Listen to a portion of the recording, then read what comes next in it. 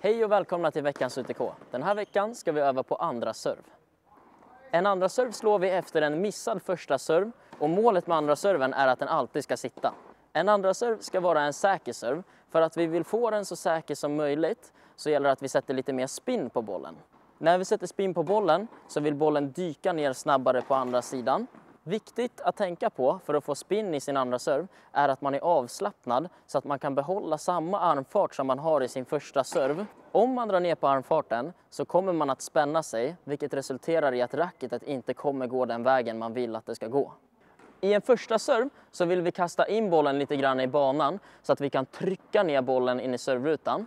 I en andra serv däremot så är det viktigare att vi kastar lite längre bakåt eftersom att vi vill få upp höjden på serven lite mer då vi har en spin på bollen som gör att bollen vill dyka ner hastigare på andra sidan. Så här ser mitt uppkast ut i min första serv.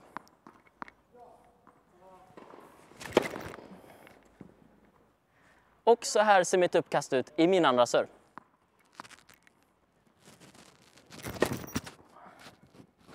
I en flack första serv så vill vi komma helt bakom bollen med racketet. I en slice-serv så vill vi träffa bollen med ett litet snedvinklat rackethuvud. Ett tips för att hitta slice-serven enklare är att ni kastar bollen lite längre till höger än vad ni är vana med.